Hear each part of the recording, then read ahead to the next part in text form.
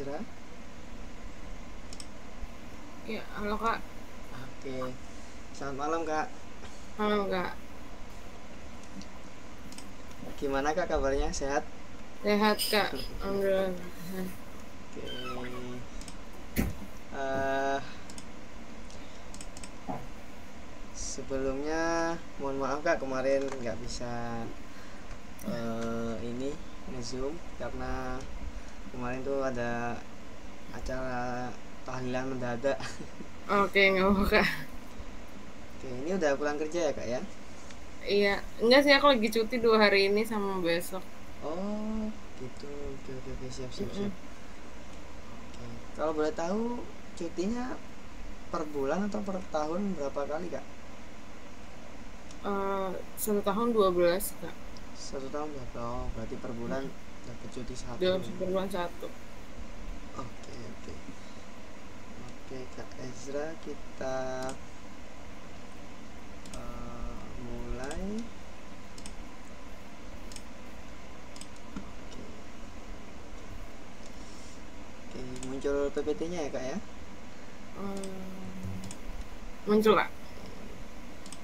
Oke, jadi eh, pada malam hari ini eh, kita akan bahas tentang aktuator, Kak. Ya.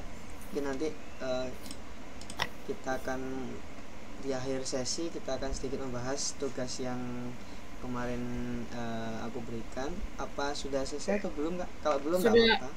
Sudah kak. Sudah selesai. Oke. Oke, nah kita masuk ke materi eh, aktuator. Nah, aktuator ini kalau dari bahasa itu kan diambil dari kata ik eh, atau ek ya. Eh, artinya kan bergerak gitu ya. Jadi eh, atau action. Nah, memang aktuator ini kalau dalam sebuah sistem dia adalah perangkat yang berfungsi untuk menggerakkan. Jadi eh, contohnya seperti eh, motor untuk menggerakkan lift untuk menggerakkan konveyor atau silinder pneumatik untuk menggerakkan eh, sistem packaging dan lain sebagainya. Nah itu. Jadi aktuator ini merupakan perangkat yang penting sekali eh, dalam sebuah sistem otomasi. Dan kita harus tahu bahwa eh, aktuator ini macamnya sangat banyak sekali di sini. Nah, eh, intinya aktuator itu masuk dalam eh, ranah output, output dari sebuah sistem. Kalau kemarin kita sudah membahas tentang input, ya, ada input sensor eh, digital, sensor analog, ada sensor suhu, ada sensor eh, kelembapan, ada sensor cahaya dan lain sebagainya. Nah, sekarang kita bahas tentang eh, output. Dalam hal ini yakni eh, aktuator. Oke, nah aktuator sendiri dibagi menjadi tiga, yakni elektrik aktuator atau elek- eh, aktuator listrik, yang kedua pneumatik aktuator atau aktuator yang digerakkan dengan tenaga tekanan udara. Terus kalau hidrolik aktuator adalah aktuator yang digerakkan oleh eh, tenaga eh, fluida, fluida yang bertekanan juga. kita masuk ke materi yang pertama yakni elektrik aktuator. Nah, elektrik aktuator ini dibagi lagi menjadi lima yakni motor listrik, yang kedua stepper motor atau motor stepper, yang ketiga solenoid, yang keempat servo motor, yang kelima linear motor. Nah, dari kelima jenis ini yang mungkin belum pernah Kak Ezra dengar apa Kak? Atau sudah Kak Ezra tahu semuanya? Ini sih paling linear motor kali ya. Linear motor ya. Kalau motor stepper udah ya Kak ya. Motor stepper udah sih. Solenoid Solenoid udah. Di mungkin eh, di linear motornya ya Kak ya. Mm-mm. Oke. Kita lanjut. Nah, motor listrik. Nah, motor listrik sendiri di sini eh, merupakan perangkat yang mengubah energi listrik menjadi energi mekanis dalam bentuk gerakan rotasi. Prinsip kerja motor listrik didasarkan pada interaksi antara medan magnet dan arus listrik yang menghasilkan gaya pada konduktor dalam medan magnet. Jadi motor listrik ini merupakan aktuator yang sangat uh, sangat sering sekali digunakan oleh manusia baik itu di rumah baik itu di mall baik itu di jalan bahkan sudah sudah ada motor listrik mobil listrik itu juga memanfaatkan uh, perangkat yang bernama motor listrik ini gitu. Tetapi motor listrik yang digunakan ada dua jenis secara general ya secara umum yakni uh, listrik AC dan motor listrik DC jadi hmm. jenisnya ini berdasarkan tentang sumber yang ia gunakan. Kalau dia itu menggunakan tenaga listrik bolak-balik atau AC maka dia tergolong dalam listrik e, motor listrik AC kalau motor listrik DC dia digerakkan oleh tenaga listrik e, direct current atau arus searah itu. Oke. Nah ini e, salah satu e, kalau dulu waktu kuliah ini disebut pohon motor gitu ya. Padahal sebetulnya ya kayak bukan pohon ya e, cuman di sini ada silsilahnya ibaratnya gitu ya. Silsilah dari e, motor listrik itu sendiri jadi ada e, motor AC kemudian ada motor DC nah motor AC sendiri dibagi menjadi dua yakni motor AC sinkron sama motor AC induksi. Kemudian kalau motor induksi uh, AC induksi itu dibagi dalam uh, dua jenis yakni satu fase sama tiga fase kalau yang motor DC itu dibagi dua yakni separately excitation sama self excitation. Nah kalau yang self excitation itu dibagi tiga yakni seri campuran dan sun.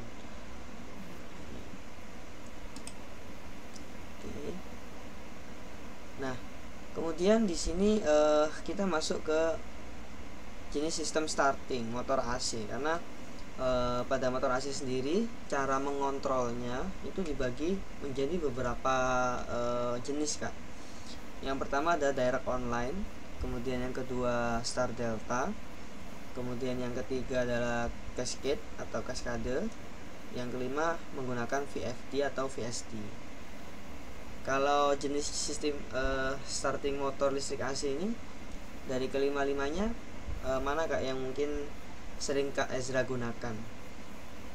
Aku belum pernah ini sih nyoba langsung si motor gini. Oh oke okay, okay, siap, siap. cuman aku baru lihat bentuknya aja gitu kalau di gudang uh -huh. gitu. Kalau untuk gunain sendiri aku yang gunain itu belum. Uh -huh. belum pernah nyoba sih. Oke okay, kak oke okay, siap sebentar kak ya. Mm. ini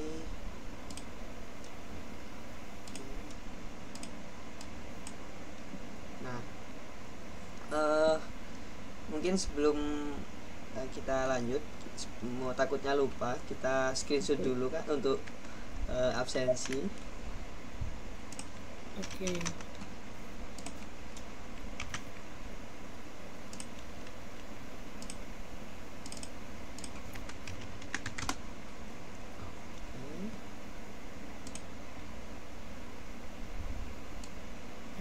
aku screen sudah kak?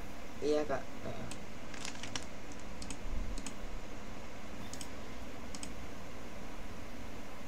udah kak.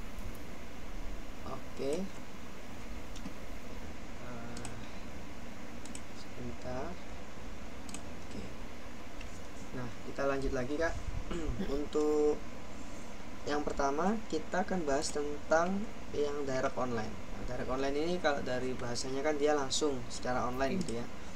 Nah sebenarnya ini sudah sedikit kita bahas di pertemuan pertama atau kedua gitu ya hmm. tentang rangkaian pengatur sama rangkaian energi nah kalau direct online itu intinya rangkaian ini tuh langsung menghubungkan uh, listrik tiga fasa ke lilitan pada motor tersebut pada motor AC gitu jadi uh, tidak ada istilahnya pergantian uh, sambungan lilitan tidak ada pergantian uh, apa namanya uh, induksi lilitan dan lain sebagainya itu enggak ada. Tidak ada pergantian frekuensi motor itu enggak ada. Jadi dia murni langsung menghubungkan listrik tiga fase ke uh, lilitan motor tiga fase tersebut.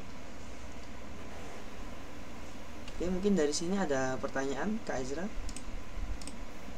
Uh, belum belum. Jadi uh, kalau yang motor itu misalnya kita mau masang motor kan? Iya.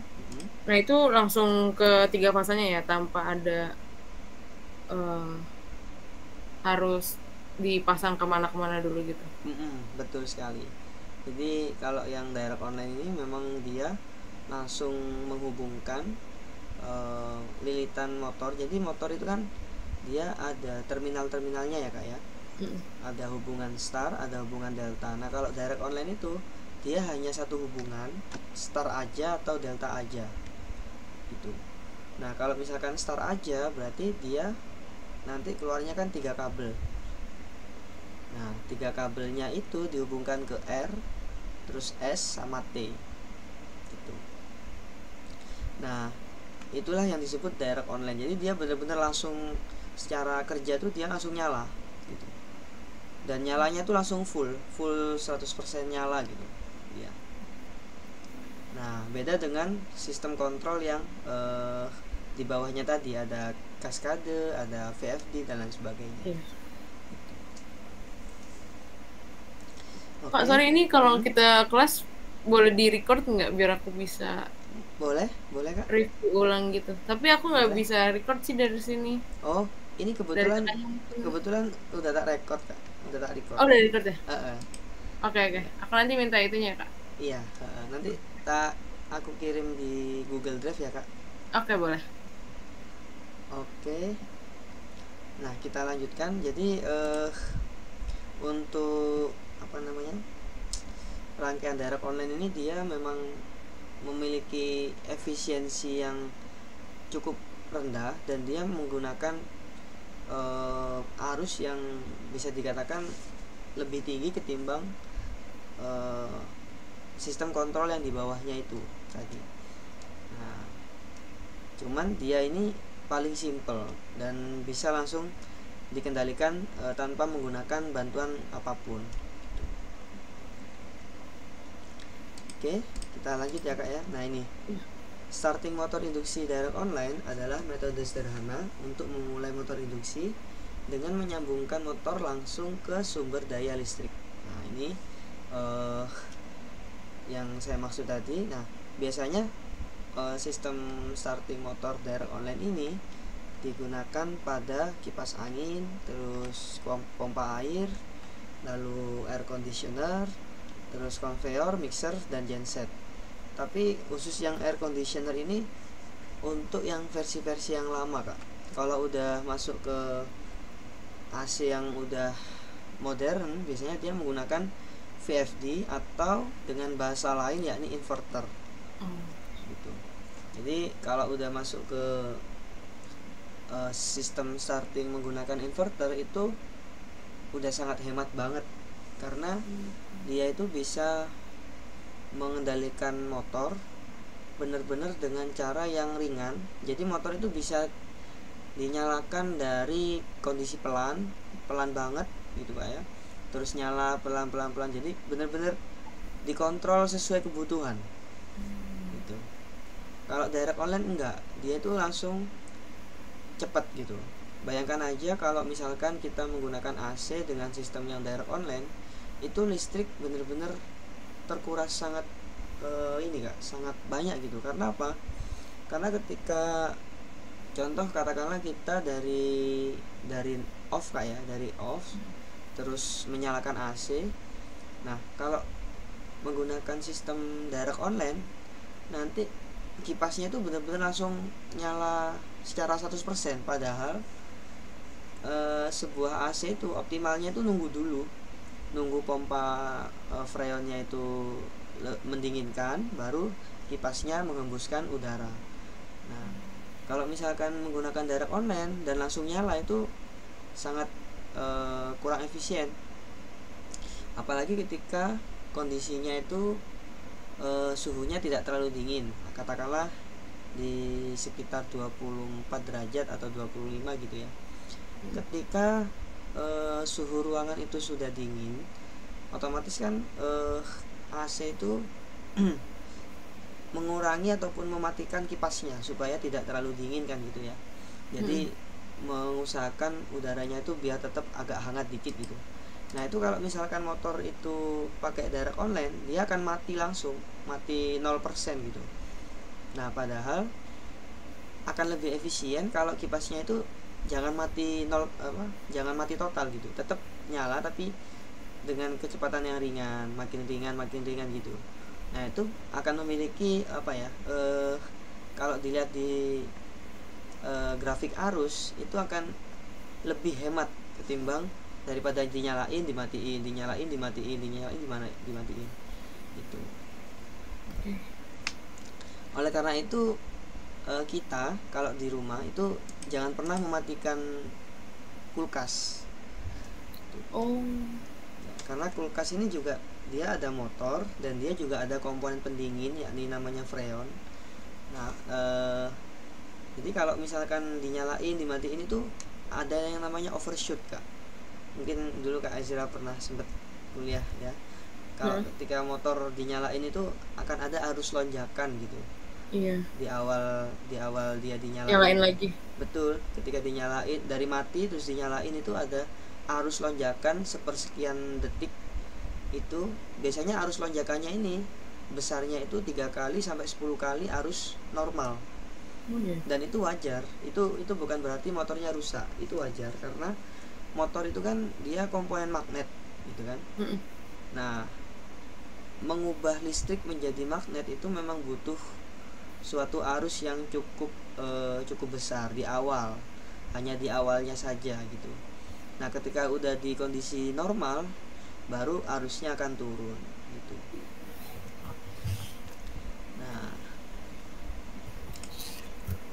mungkin ada pertanyaan kak Ezra uh, ini sih kak kan katanya kalau inverter itu kan yang sekarang uh, dia itu kan uh, low watt ya.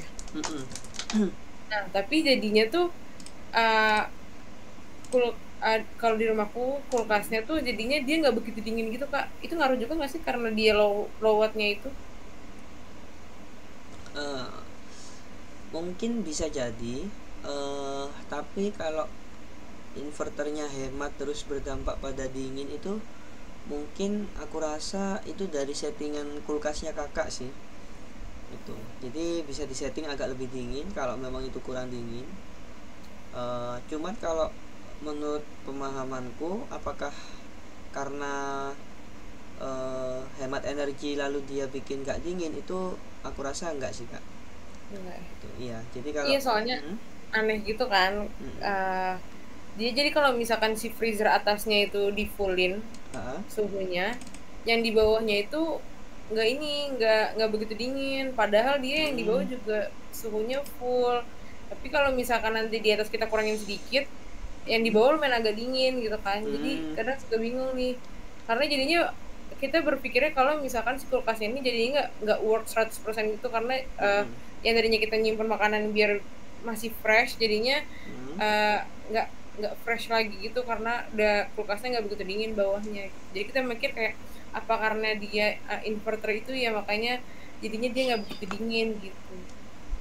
Uh, enggak kalau kalau seharusnya sih uh, dinginnya suhu itu nggak nggak bergantung pada uh, inverternya. Tapi mungkin itu ada settingan yang kurang pas atau mungkin Eh, kemungkinan terburuknya ada sensor yang mungkin agak agak error sensornya jadi suhunya yang ada di kulkas itu dianggap udah dingin padahal dia belum dingin gitu jadi dari hmm. sensornya kak nah sensor yang digunakan di kulkas itu adalah PTC PTC atau NTC yang dulu pernah kita bahas itu kak ya iya. nah. oke pertanyaan bagus kak Ezra uh, bisa membuka wawasan saya juga. Oke okay, next ya kak ya. Kita lanjut. Uh, nah ini kita masuk ke starting motor Star Delta. Udah pernah sempet denger ini kak? Sebelumnya? Pernah. Pernah ya. Tapi mempraktekkan langsung menggunakan langsung uh, belum Enggak. ya kak belum. Oke. Okay. jadi uh, Star Delta ini salah satu cara starting motor di mana ini merupakan e, tingkat lanjut dari direct online. Jadi uh, starting motor start delta ini ada dua kondisi yakni kondisi start sama kondisi delta. Maksudnya gimana? Jadi gini jadi uh, secara normal motor itu kan ada ada tujuh kak ya. Enam itu untuk fase terminalnya ini satu untuk ground. Jadi bentar aku mau nunjukin di Google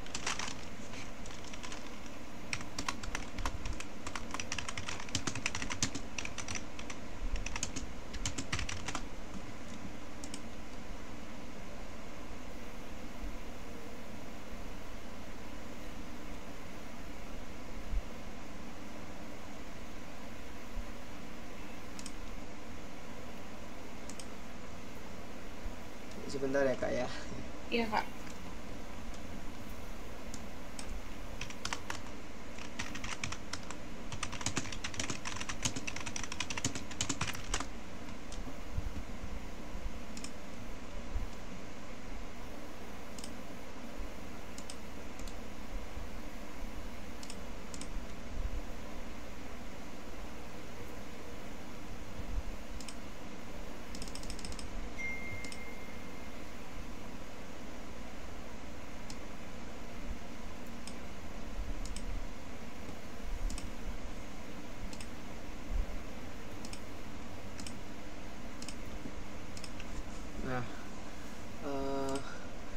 kelihatan nggak kak? Iya kelihatan kak. Nah ini, nah ini kan kalau kita membuka motor induksi itu dia ada enam terminal. Sebenarnya tujuh, tujuhnya itu ground di sini uh, grounding. Nah ini satu dua tiga itu U1 V1 W1 namanya.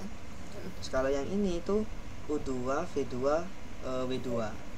Nah ini tuh uh, apa namanya kalau di rangkaian tiga fase sorry yang di rangkaian star delta itu dia bisa diatur kondisinya star atau delta. Itu rangkaiannya. Jadi e, di dalamnya motor itu kan dia lilitan ya kak ya? Dia hmm. lilitan. Nah lilitannya itu disambungkan ke disambungkan keluar ke terminal-terminal ini. Gitu. ke kalau kalau bahasa engineer kan kalau di lapangan disebut e, terminal atau mur bautnya gitu kak ya hmm. mur dan bautnya itu nah kalau di gambar ini itu dia kondisinya dirangkai hanya star hanya star aja gitu. sedangkan kalau di apa namanya kalau di star delta dia bisa dihubungkan star dan juga delta di kondisi yang berbeda gitu. sebentar nah ini contoh yang lain. Muncul nggak kak gambarnya kak? Iya muncul kak. Iya. Nah ini. Ini di motor yang lain ada 6 sama tetap 6 terminal. Satunya dibuat grounding di sini. Nah kalau disambungkan seperti ini di bagian bawah ini dia hubungannya hanya satu yakni star ini kalau seperti ini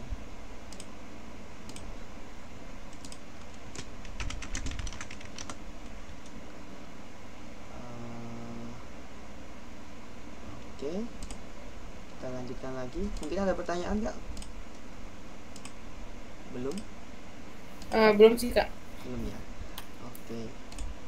Nah ini kalau kita sambungkan seperti tadi yang uh, star itu, yang bagian bawah kan tadi ada ada enam ya kak ya, tiga di atas, tiga di bawah.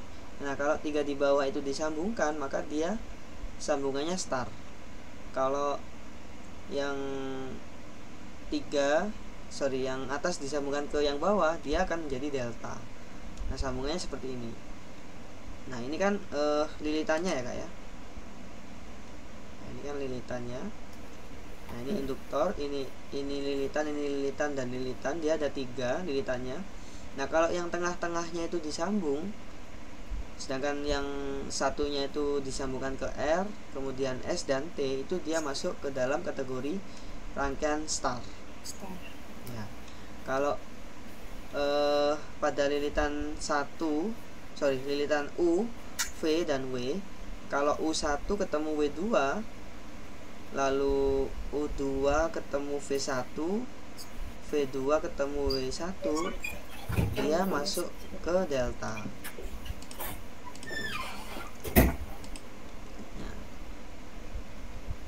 nah ini kak. Ini nah ini kalau misalkan sambungannya star delta jadi benar-benar dia itu uh, tidak disambungkan kayak tadi. Dia benar-benar disambungkan ke rangkaian kontaktor. Dan rangkaiannya bakal jauh lebih rumit. Gitu kalau star delta. Nah kalau ini kan direct online dia dayanya hanya satu gini kak ya dia lurus iya, menggunakan lurus. satu satu kontaktor nah kalau uh, Star Delta dia menggunakan tiga kontaktor. Tiga kontaktor. Betul. Itu dulu pernah sempat simulasi kak di tempat kerja atau di kuliah? Belum sih, kalaupun mereka nyoba motor, aku cuma lihat pas motornya udah gerak gitu tuh. Oh, iya iya.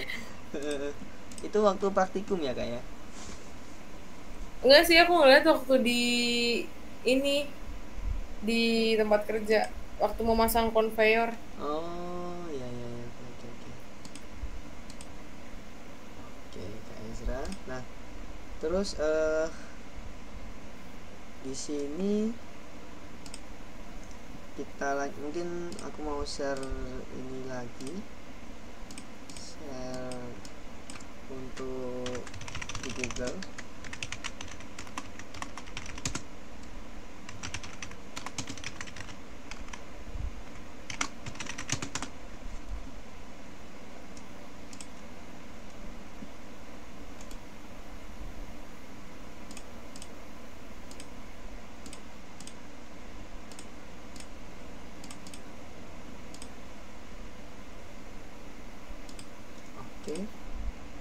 kak jadi kalau di Star Delta ini uh, di sini ada MCB atau MCCB terus ke, di sini ada uh, apa namanya thermal over relay atau TOR yang dulu pernah kita bahas itu.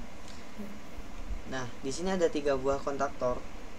Nah, ini kontaktor untuk UVW1 U1 V1 W1 kemudian ada kontaktor 2 ini untuk sambungan delta lalu ini untuk kontaktor 3 kontaktor 3 untuk rangkaian star oh nah aku pikir itu buat ini kak buat ground. Hmm, bukan. Kalau ground dia hanya langsung uh, nyambung ke bodinya saja. Oh.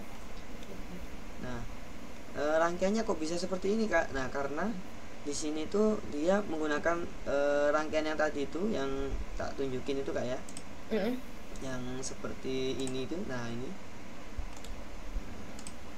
Seperti ini. Ya. nah ini. Ini rangkaian energinya. Jadi ketik jadi e, cara kerjanya gini. Misal kita di, disuruh untuk membuat program untuk rangkaian star delta ya kak ya. Jadi ketika kita menyalakan e, tombol start pada motor e, nanti itu yang bekerja adalah kontaktor K1 dulu kontaktor ini. Lalu yang nyala lagi yang kemudian adalah ini. Jadi K1 sama K3 dia nyala bareng. Gitu. Sama K3 nyala bareng? Iya. Dan itu motor berada dalam kondisi start ketika eh, K1 dan K3 bekerja itu motornya bekerja dalam kondisi start gitu terus nah, kalau K2 nya nyala pak? Nah ketika kita tekan tombol start 2 kan tadi kita udah nyalakan tombol start 1 ya kak ya? Nah hmm. ketika kita nyalain tombol start 2 maka yang K1 ini tetap nyala yang K3 ini mati ganti dengan yang K2 jadi yang sekarang yang nyala adalah K1 sama K2 nah kondisi ini disebut dengan rangkaian delta yang barusan ini nah pertanyaannya apakah boleh kak kita menyalakan delta dulu kemudian star? Jawabannya nggak boleh. Gitu karena memang uh, jadi kalau kita nyala misalkan kita pengen nyalain delta dulu kemudian start ya itu nggak boleh. Kenapa? Karena e, itu menyalahi aturan. Karena gini kenapa kok start dulu baru delta? Sebab kelebihan dari rangkaian start dia dapat mengurangi arus starting awal yang tadi aku sebutin tadi kak oh. Yang lonjakan besar itu ya? Betul. Betul sekali. Jadi kalau misalkan kita lihat di sini ya eh, apa namanya di rangkaian eh, star ini rangkaian bintang hmm. itu kan katakanlah di sini ada ini kayak ya? Eh, di sini ada kabel R dimasukkan hmm. di sini kemudian di sini ada kabel eh, W atau S gitu ya atau T nah di sini kan arusnya mengalir dari atas ke bawah kak ya. Nah di sini. Nah ini kan pasti uh, arusnya itu atau tegangannya akan di, dihambat oleh dua lilitan. Gitu kan? Nah ketika dihambat oleh dua lilitan maka arusnya itu akan lebih kecil. Gitu. Kalau ini star ya? Ya betul.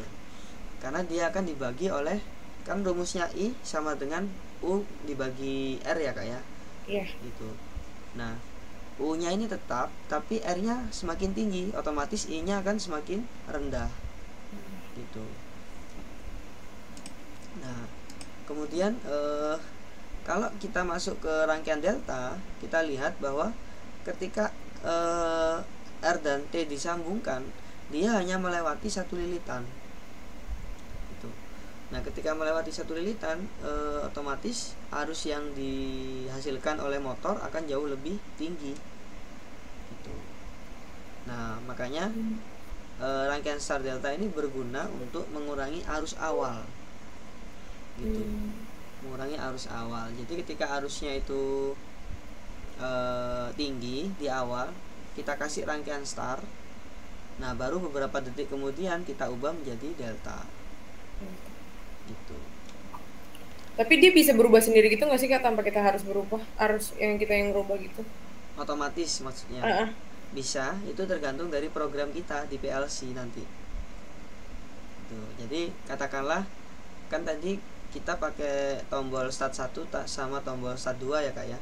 Hmm. nah bagaimana kalau kita hanya pakai tombol start 1 kemudian selang 5 detik dia akan berubah menjadi delta tanpa perlu kita tekan lagi Nah, itu kembali lagi ke program PLC kita nanti, Kak.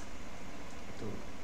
Makanya e, nanti kita akan buat project di mungkin pertemuan ke 6 atau ke 5 gitu, ke 6 kayaknya. Kita akan buat project tentang rangkaian Star Delta menggunakan PLC. Berarti minggu depan ya? Uh, eh, minggu depan beberapa hari besok? Mungkin dua pertemuan lagi. Oh, dua pertemuan lagi. Iya.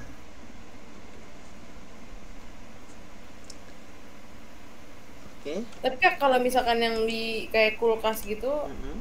dia pakai rangkaian star delta, delta juga nggak sih uh, enggak biasanya star delta ini digunakan untuk uh, motor-motor yang menggunakan daya yang sangat besar kayak motor berarti di... kayak mau conveyor gitu-gitu ya uh, betul conveyor yang ini ya kayak yang apa namanya di industri yang besar ya batu bara hmm. gitu kalau conveyor yang kecil-kecil seperti di industri botol itu biasanya pakai motor DC kak. Oh. Kalau apa namanya uh, kalau misalkan untuk kulkas aku rasa enggak. Hmm. jadi ada ininya kak apa namanya ada plus minusnya sih menggunakan star delta itu. Oke lanjut ya kak ya. Iya kak. Nah ini yang aku maksud kak. Ini kalau dilihat dari grafik ya, jadi memang e, ketika yang hijau ini adalah meng, e, apa ya rangkaian menggunakan delta jadi kalau misalkan di awal kita langsung delta duluan arusnya itu sekian nggak tingginya? Hmm. nah tapi kalau kita siasati menggunakan star hmm. arusnya turun jadi seperti ini. Gitu. Turun setelah beberapa detik. Nah dia kalau kita uh, kalau kita nyalain delta dia akan naiknya segini. Kan lumayan nih. Lumayan iya. turun. Nah, dia hanya sedikit overshoot di sini sedikit melonjak bentar terus dia turun lagi menjadi normal. Gitu. ini e, terminal motor yang masih kosong. Nah ini ada ada U1 V1 kemudian ada e, W1 terus ada W2 U2 sama V2 itu kan kita ada pertanyaan Kak Ezra? Hmm, nggak ada sih karena aku pikir ini yang si rangkaian ininya itu yang U1 V1 nya itu aku pikir bawa di bawahnya U1 itu langsung U2 nya juga. Oh ini ya kak? Mm -mm. jadi kayak U1 bawahnya U2 gitu ya kak iya. Yeah. V1 bawahnya V2 gitu ya? V2 uh, eh, sebetulnya ini hanya ini aja kak hanya terminal nama terminal. Kadang ada motor itu yang U1 terus U2 di bawahnya terus mm -mm. V1 V2 jadi urut gitu kak ya ada yeah. ada yang kayak gitu ada. Soalnya aku pernah gambar tapi uh -huh. dia urut gitu soalnya datasnya U bawahnya U. Oh. Kalau seperti ini berarti lilitan U1 ini dia disambungkan ke sini kak. Jadi miring. Lilitan ini ke sini. Kemudian lilitan ini ke sini. Kemudian lilitan lilitan yang ini ke sini. Jadi miring dia. Tuh. tapi nanti penyambungan di e, kontaktor atau di panel itu itu kembali lagi ke gambar yang tadi itu yang di Google itu kak. Yang tadi tak tunjukin itu. Atau mungkin aku ini ini ya. Aku copy dulu sebentar kak di sini.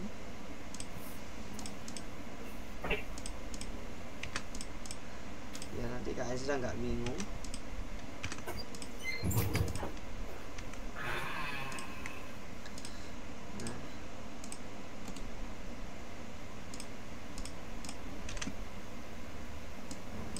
muncul ya kak ya ya muncul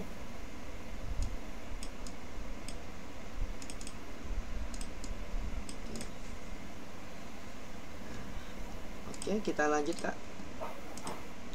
Nah, kemudian lanjut pada elektrik aktuator. Yang kedua adalah uh, sorry, selanjutnya adalah pemanfaatannya. Nah, pemanfaatannya di mana?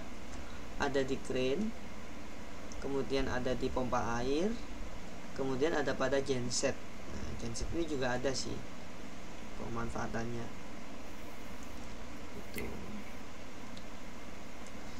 Eh, kemudian pemanfaatan star delta kenapa kok e, manfaatnya apa sih gitu mengurangi arus ketika start pada motor kemudian pengurangan beban pada motor yang ketiga menjaga umur pada e, induksi jadi memang pada motor induksi itu kalau misalkan dia itu terlalu sering dikasih arus yang besar dia itu akan mengurangi e, usia dari lilitannya itu kan nah tujuan dari penggunaan Star Delta ini supaya usia motor ini sesuai dengan yang ada di nameplate-nya.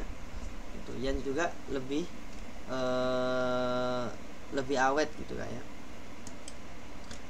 Nah kemudian mod, kontrol motor selanjutnya adalah motor Dahlander. Nah motor Dahlander ini motor dua kecepatan kak. Jadi uh, motor ini tuh yang menemukan adalah Robert Dalander memang sesuai dari nama penemunya kak. Hmm. e, dulu sempat ada teori ini kak di kuliah? Belum? Uh, kayaknya ada sih kesulitan akunya. Nggak okay. begitu ingat oke okay, oke. okay. Siap siap. Kita lanjut ya kak ya. Jadi motor Dalander ini dua kecepatan. Memang dia itu di lilitannya itu ada lilitan yang nah ini. Jadi ketika dia kondisi delta dia low. Gitu. Tapi ketika kondisi star tapi starnya beda dengan yang tadi. Kalau star yang tadi kan dia hanya satu lilitan. Oh, sorry hanya tiga lilitan. Nah ini ada enam. Itu jadi kalau misalkan yang di delta ini dia enamnya itu seperti ini lilitannya hmm. kalau starnya dia seperti ini. Nah inilah yang bikin uh, eh, RPM dari motor tersebut menjadi lebih tinggi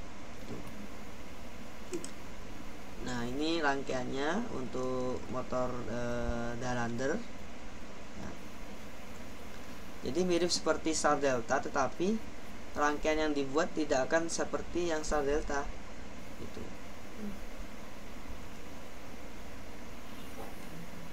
Mungkin ada pertanyaan kak Ezra? Hmm, belum kak. Belum kak ya? Oke. Siap.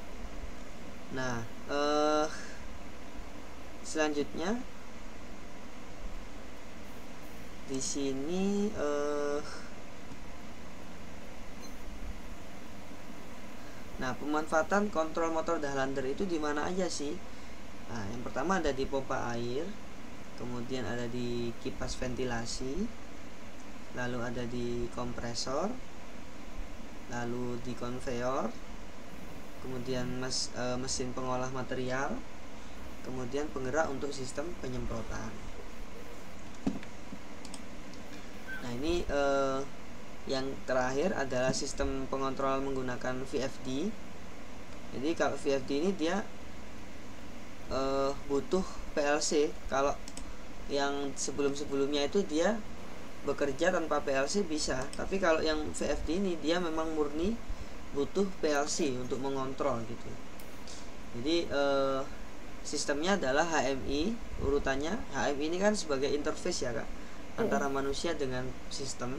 Nah, HMI ini menghubungkan manusia ke PLC, lalu PLC menghubungkan lagi ke VFD itu sendiri, lalu VFD mengontrol kecepatan dari motor. Dan ini bisa kita kontrol bener-bener kita kontrol kecepatannya kak. Mau berapa RPM gitu. Kita kontrol dari PLC nanti PLC memberikan program ke VFD lalu VFD mengontrol kecepatan ke e, motor. Dan, dan dia ada feedbacknya. VFD ini bisa me, me, ibaratnya ada kayak sensor kecepatan gitu ya yang mengukur kecepatan dari motor induksi ke um, PLC jadi nanti akan diukur terus kecepatannya bagaimana. Bahkan arusnya arus motor ini juga akan dilihat oleh VFD arusnya e, berapa ampere gitu. Itu kan oke ada pertanyaan kak Ezra? Uh, belum kak. Masih belum kak ya? Oke nah kontrol motor menggunakan VFD memiliki keuntungan antara lain e, penghematan energi dengan menyesuaikan kecepatan motor sesuai kebutuhan VFD dapat mengurangi konsumsi energi dan biaya operasional. Yes, yang kedua, kontrol presisi memberikan kontrol yang lebih tepat atas kecepatan dan torsi motor meningkatkan kualitas proses dan efisiensi. Kemudian yang ketiga, pengurangan arus aus dan uh, pengurangan aus dan kerusakan. Mengurangi stres mekanik pada sistem dengan menggunakan start atau stop yang tiba-tiba, memperpanjang umur peralatan. Nah, ini yang uh, aku maksud tadi, kenapa kok inverter-inverter yang digunakan di AC maupun di kulkas itu memiliki harga yang lebih mahal? Karena dia bisa menghemat budget atau menghemat uh, kWh meter. Yang kedua dia bisa merawat ataupun memperlama uh, usia dari motor tersebut terus yang keempat penurunan biaya operasional. Nah ini yang sudah pasti. Mengurangi kebutuhan akan perawatan tambahan serta menghemat biaya pemeliharaan dan energi. Nah kerugian kontrol VFD biaya awal yang tinggi. Ya memang kan jadi e, sistem VFD atau inverter ini harganya akan lebih mahal di awal untuk membeli gitu. Terus yang kedua kompleksitas instalasi dan konfigurasi. Jadi e, kalau kita menggunakan VFD memang banyak kabel-kabel kecil yang nanti kita akan e, yang nanti dirangkai ke PLC jadi memang butuh effort di rangkaiannya kemudian yang ketiga masalah kualitas daya maksudnya kualitas daya ini di harmonisa Kak Ezra pernah dengar istilah harmonisa kak di dunia kelistrikan? Pernah. Pernah ya. Jadi harmonisa ini e, merupakan apa ya baratnya? Ada suatu sinyal masukan di luar frekuensi fundamental. Jadi ada sinyal dengan frekuensi-frekuensi di atas 50 Hz. Nah, ini yang dimaksud dengan masalah kualitas daya. Terus kemudian yang keempat potensi gangguan elektromagnetik jadi EMI filter jadi emang di dalamnya VFD ini dia uh, terdapat komponen komponen elektromagnet yang bisa mengganggu uh, peralatan di sekitar uh, VFD. Kemudian yang keempat, kerumitan sistem kontrol ini sebetulnya sama uh, seperti yang nomor dua. Kemudian yang keenam itu keterbatasan dalam aplikasi khusus. Mungkin dari dari sini ada pertanyaan Kak Ezra? Hmm, ini juga sekarang kan uh, tapi kayaknya out of context gini deh. Oh iya nggak apa-apa. Uh, kulkas tuh sekarang uh, wattnya kecil-kecil ya, maksudnya nggak begitu besar ya, paling cuman uh, 80 watt, 100 watt gitu kan. Mm-hmm. Itu pun paling besar kemarin aku temuin itu 220 watt gitu. Mm-hmm. Tapi kenapa bisa kecil kak? Sedangkan kayak hair dryer gitu dia bisa tinggi tuh uh, wattnya bisa sampai 450 watt, 600 watt gitu. Apa bedanya sama si kulkas? Yang dulu gitu kak ya? Enggak, kulkas sekarang kan kulkas sekarang tuh paling cuma 100 watt gitu-gitu loh. Uh-uh. Sedangkan kayak hair dryer tuh yang buat ngeringin rambut itu bisa sampai 450 watt, 600 watt gitu. Apa karena dia ngeluarin panas? Karena kayak apa ya uh, yang sekarang tuh namanya yang buat pemanggang itu hmm. air fryer iya hmm. air fryer kan bisa sampai 1200 900 watt gitu kan kenapa bisa itu lebih gede ketimbang si masih kulkas gitu Oke, ini pertanyaan bagus dan cukup kompleks. Jadi kalau kita melihat dalam rangkaian elektronika, uh, yang bikin watt itu semakin turun itu adalah frekuensi.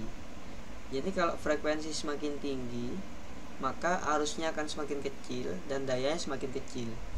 Nah, hmm. kenapa kok bisa kulkas zaman sekarang itu lebih murah ketimbang zaman dulu ya kak ya, zaman-zaman iya. 2010 atau 2000 ke atas gitu ya? Karena zaman sekarang itu kulkas ataupun AC dia udah menggunakan yang namanya komponen-komponen chip mikroprosesor yang jauh lebih kenceng itu jauh lebih kencang dan jauh lebih kecil nah karena jauh lebih kencang maka frekuensinya semakin tinggi. Nah karena frekuensi semakin tinggi arusnya semakin rendah dan arus semakin rendah maka dayanya semakin kecil. Nah itulah yang uh, apa namanya uh, yang membuat komponen-komponen seperti kulkas yang di dalamnya itu akan semakin kecil dan semakin cepat. Nah, karena pemanfaatan dari kecanggihan teknologi microchip zaman sekarang hmm. gitu. beda halnya dengan hair dryer nah kalau hair dryer hmm. ini dia tidak membutuhkan microchip yang kecil dan cepat dia cukup membutuhkan pengubahan medan elektromagnet nah sehingga kalau mengurangi watt dari hair dryer mungkin masih sangat sulit, sulit. ya sama halnya dengan trafo kak transformator gitu kayak transformator uh, pada umumnya yang digunakan oleh PLN gitu. E, dari dulu sampai sekarang itu tidak ada perubahan e, daya maksudnya sama-sama aja sama cepat gitu. Padahal teknologi makin canggih. Artinya hmm. apa? Artinya tidak ada teknologi yang lebih mutakhir untuk mengurangi daya atau konsumsi daya pada trafo gitu dari zaman dulu tetapi yang unik aku dulu waktu ikut uh, seminar internasional di di Surabaya kak. Kebetulan dulu waktu aku kuliah itu dikasih tugas sama dosen itu. Ya mungkin dosen juga nguji aku gitu kak ya. Ya antara diuji sama dimanfaatin sih dulu itu. Uh, agak sedikit ini kak agak out of agak out of context juga. Jadi waktu dulu aku kuliah itu uh, skripsiku ini merupakan proyeknya dosenku kak gitu. hmm. gitu jadi aku waktu ngerjain skripsi itu ngerjain proyeknya beliau tentang alat pemadam ap, busur api listrik menggunakan artificial intelligence dan juga fast Fourier transform nah ini dulu aku nggak ada kepikiran bikin kayak gini kak ini benar-benar murni idenya dosenku gitu e, waktu dikasih itu aku juga nggak yakin bisa gitu. Cuman kalau nggak ada judul nggak lulus lulus nih aku gitu kan. Iya. Jadi aku terima aja perkara bisa enggaknya apa urusan nanti lah aku gitu kan. Nah terus alhamdulillahnya aku bisa gitu. Dan uh, aku didaftarin dalam uh, salah satu uh, komunitas elektronik elektronika internasional yakni IEEE dan disuruh konferensi kak gitu. Jadi aku umum jadi kayak skripsiku tuh kayak dipublik dipublikasikan ke jurnal internasional gitu.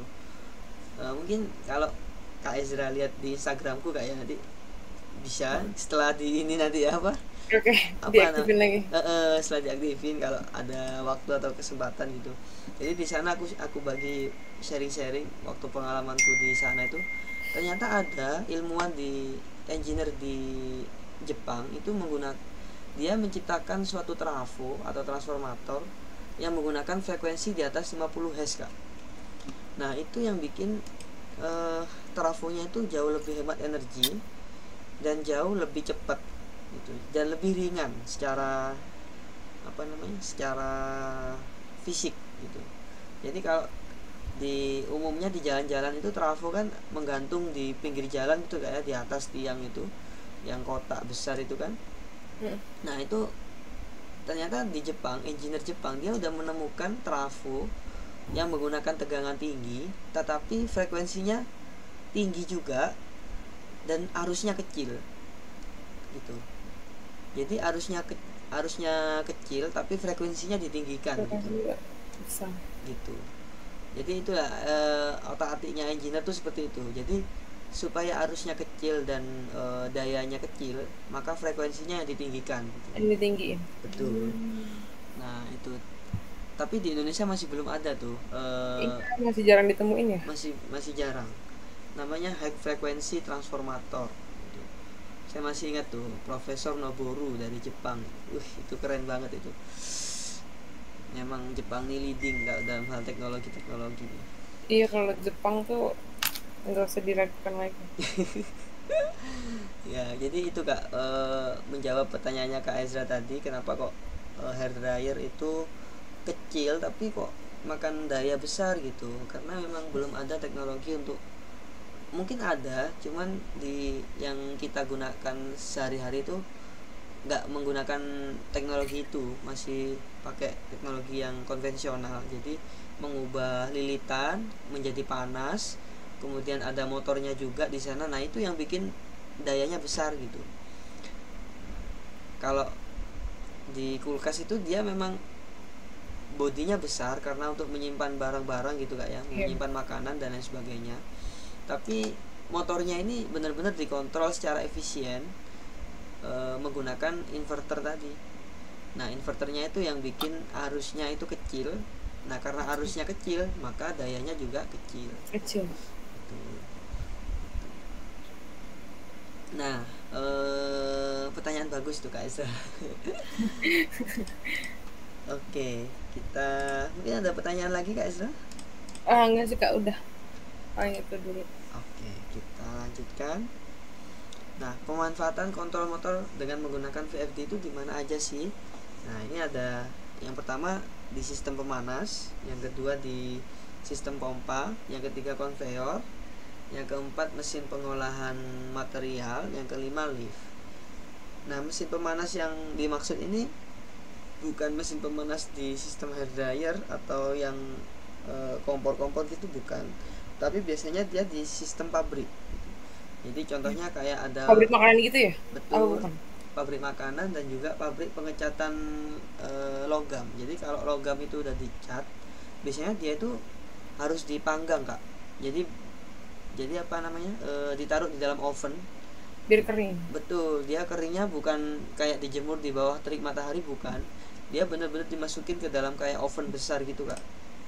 Gitu. Nah pemanasnya itu ovennya itu dikontrol menggunakan uh, sistem VFD ini.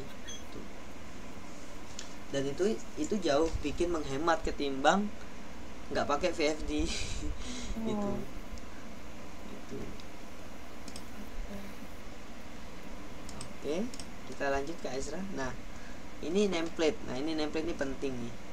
Jadi uh, kita sebagai engineer itu harus memahami karakteristik dari sebuah motor. Nah, cara memahaminya antara lain dengan e, menggunakan ataupun membaca nameplate dari motor.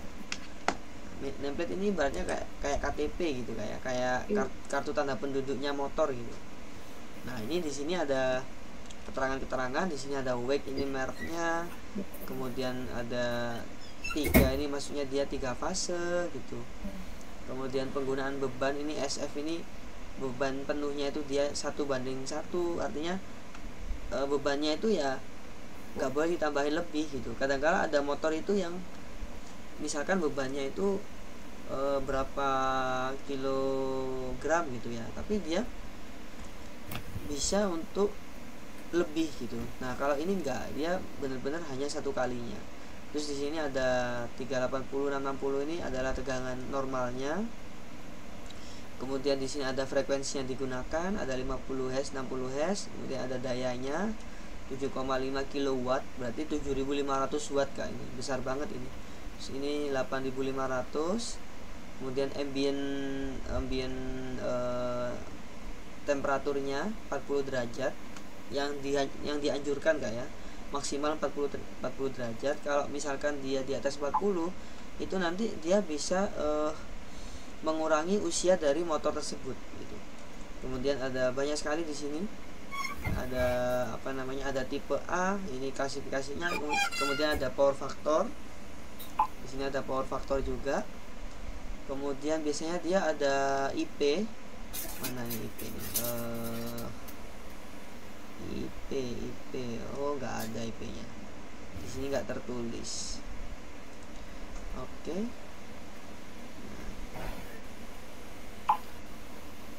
lanjut kak ya? Oke. Okay.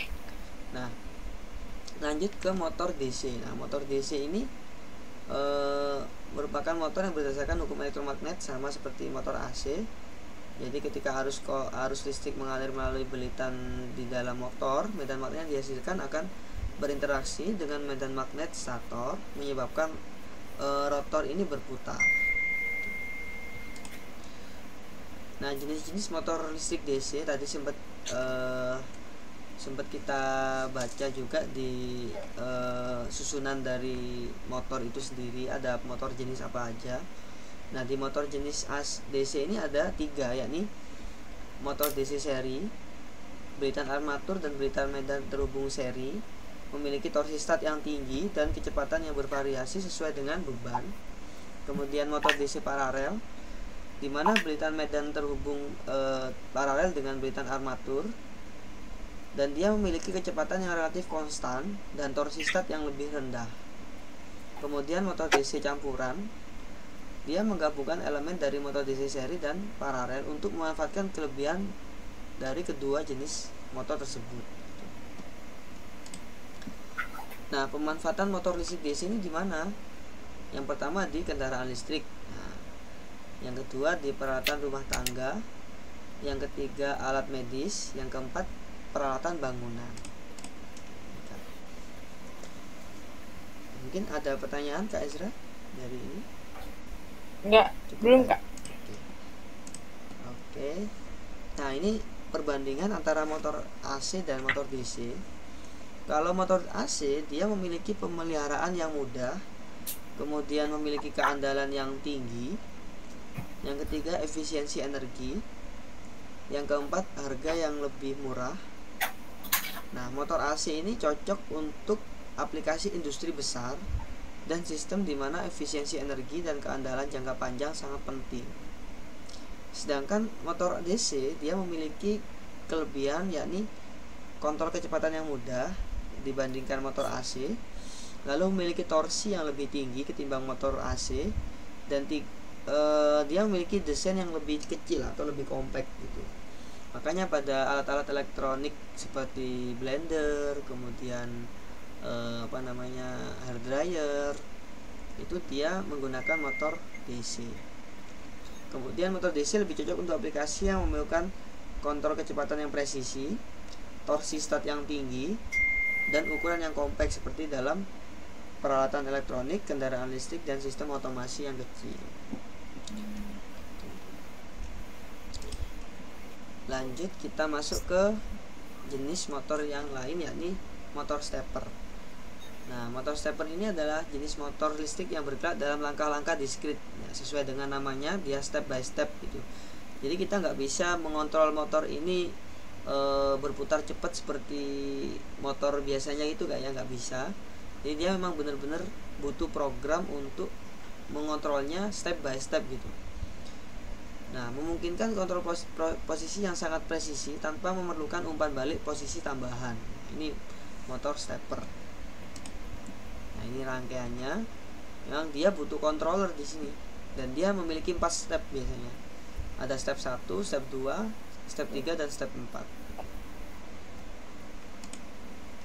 kemudian uh, nah motor stepper ini biasanya sering digunakan di mana sih? Nah motor stepper ini biasanya sering digunakan di uh, printer ya. kemudian mesin fotokopi kemudian di sistem otomasi lalu di uh, kendaraan sorry di kendali pada robotika kemudian di kamera ataupun perangkat optik gitu. Lalu dia selain itu di alat medis gitu. oke. Lanjut kak ya. Iya pak.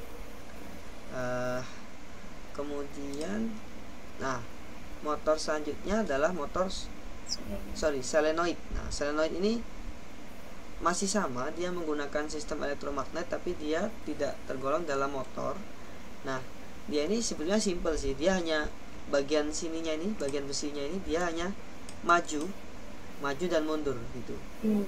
nah, biasanya ini digunakan kayak di project-project uh, kuliah sebagai pengunci iya. di pintu gitu ya gitu. jadi dia simpel sekali kalau kita kasih tegangan dia akan maju kalau dia di tegangannya dihilangkan dia akan balik mundur lagi gitu atau sebaliknya kalau kita kasih listrik dia akan masuk kalau nggak dikasih listrik dia akan keluar gitu. Ya. kayak waktu TA aku pakai solenoid deh. Oh iya gak iya oh. soalnya aku kemarin TA bikin prototype gitu. Hmm. bikin minum gak ya? Iya kamu buka oh bikin prototype apa kak kalau boleh tahu? Apa uh, smart lock door. Oh. Oke oke oke. Pakai apa kak? Arduino atau?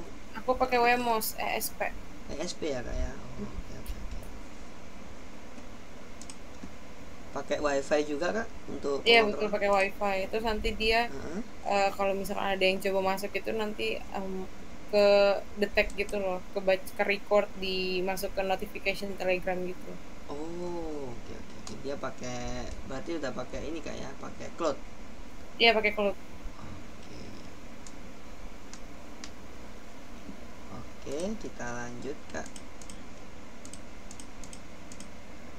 Nah ini e, pemanfaatan solenoid ini antara lain pada kunci pintu otomatis kemudian pada peralatan e, otomatisasi industri kemudian yang ketiga eh, sistem pencetakan dan pengemasan yang keempat sistem pendingin dan pemanas. Yang kelima perangkat elektronik konsumen. Yang keenam alarm keamanan. Kemudian pada perangkat otomatisasi rumah. Kemudian mesin mobil pengendalian otomatis dan sistem pengendalian proses. Ini banyak sekali kegunaannya. Dia kecil-kecil tapi cabai rawit nih kak. Dia banyak digunakan. Memang mudah. Kontrolnya mudah sekali nggak sulit-sulit. Tinggal dikasih listrik dia akan berubah. Kalau dilepas dia akan kembali lagi gitu. Nah lanjut ke e, motor yang lain yakni servo motor. Nah motor lain yakni servo motor.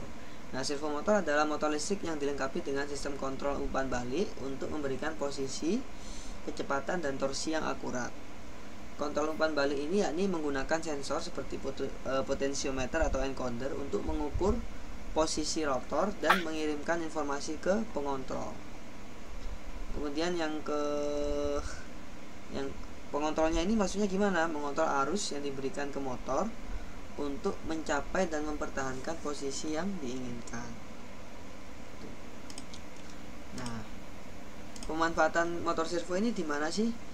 biasanya digunakan di sistem robotika biasanya kalau e, mungkin Kak waktu di kampus melihat ada yang lomba robot untuk membuat sistem uh, mungkin robot laba-laba atau mungkin ini apa uh, arm ro arm robot. Oh ya uh, itu bisa juga itu.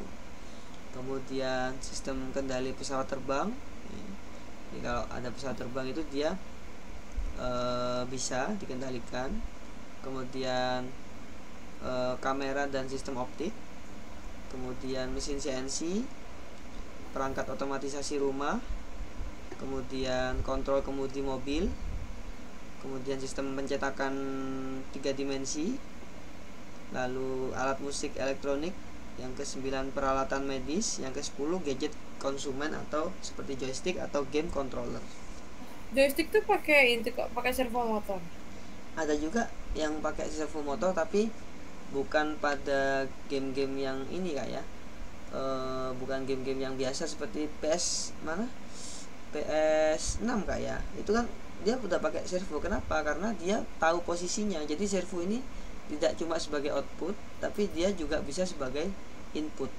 Itu terutama joystick joystick yang ada di uh, ini loh kak uh, mana tuh joystick yang ada di kayak mall-mall itu kan ada tempat bermain tuh. Uh -uh. nah itu kan dia bener-bener kalau ketika kita nabrak dia kan kayak ada getar gitu kan kak? Iya. nah itu itu dia terprogram. Jadi ketika dia nabrak suatu mana tuh suatu pagar atau apa itu dia jadi kayak joysticknya tuh kayak getar sendiri melawan si tangan tangan penggunanya itu. Seakan-akan dia nabrak beneran gitu. Itu jadi dia motor servo ini bisa menjadi dua dua perangkat yakni bisa jadi output bisa jadi input juga. Dia bisa mengendalikan juga bisa dikendalikan gitu. Jadi servo motor ini juga unik dia karena di dalamnya ada sensor juga di dalamnya. Sensor dan aktuator gitu.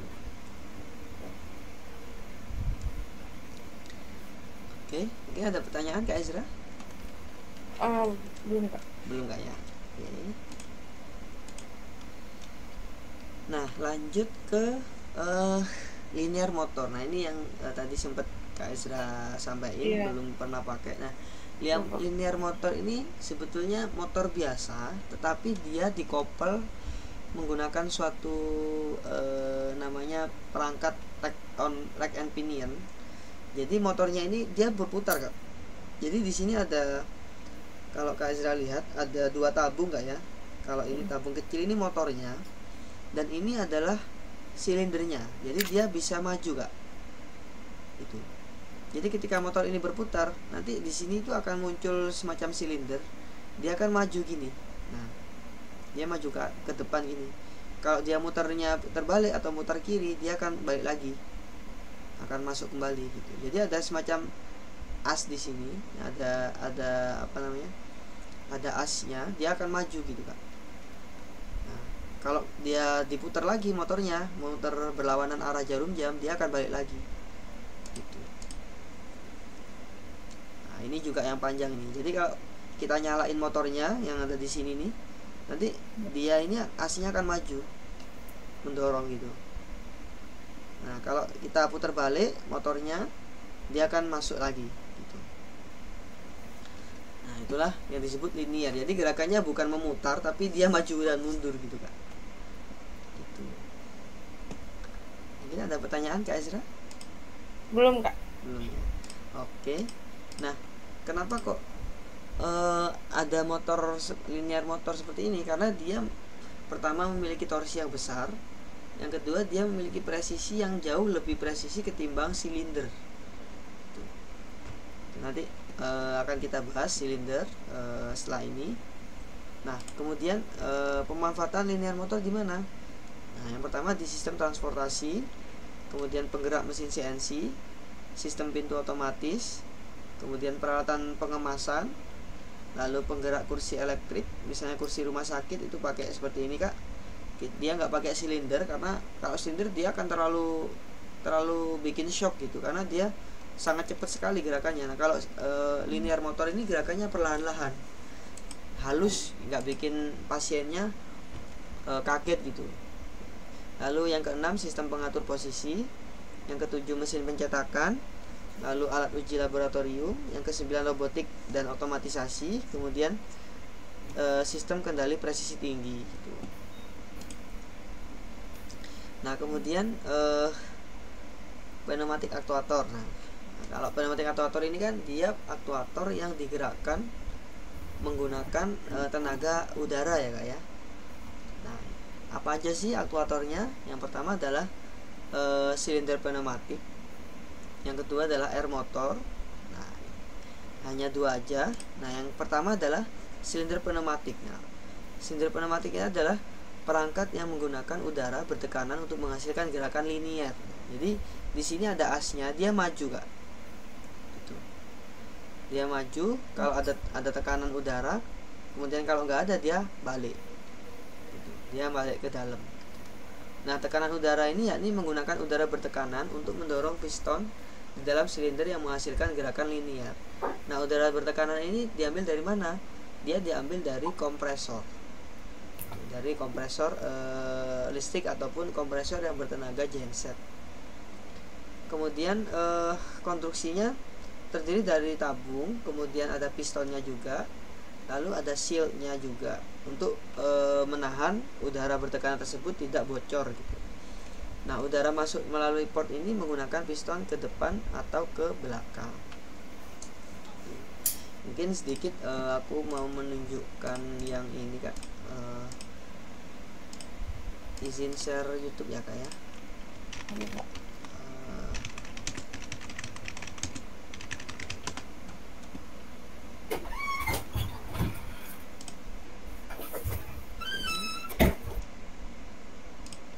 Nah, contohnya seperti ini. Nah, inilah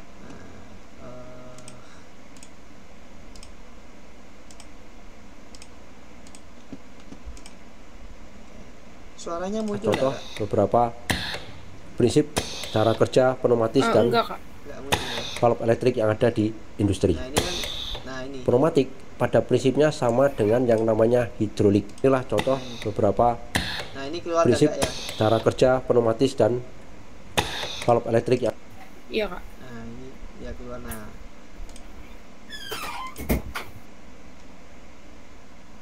Nah ini dia keluar ini. Nah dia masuk lagi keluar lagi. Nah, masuk lagi keluar lagi. Nah, nah beda dengan linear motor. Linear motor. Nah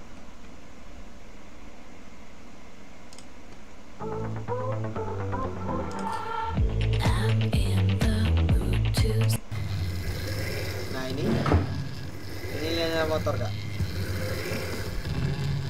Itu ya dia lebih bisa dikontrol kecepatannya. Mau cepet atau pelan bisa. Nah bisa juga yang pelan banget bisa. Nah ini pelan banget. Nah. Nah ini pelan banget. Jadi tergantung dari tegangan yang dikasih kak nah ini pelan jadi banget. semakin besar tegangan yang kita kasih berarti dia semakin cepat ya? Betul betul sekali. Beda dengan yang silinder tadi. Kalau silinder tadi kan sangat cepat sekali kan kak ya? Mm. itu nah ini. Uh,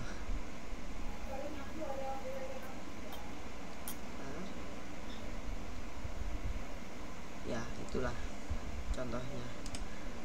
kita lanjutkan kak ke PPT nya lagi. Nah oke.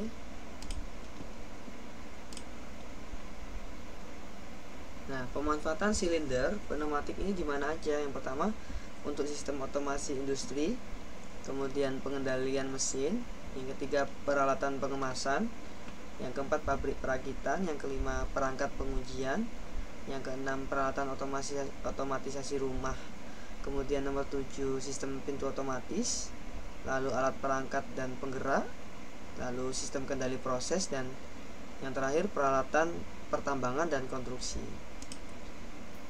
Nah, aktuator pneumatik selanjutnya adalah air motor. Nah, ini motor yang sama, e, maksudnya mirip seperti motor pada umumnya, tapi dia berputar bukan dengan tenaga listrik melainkan dengan tenaga udara.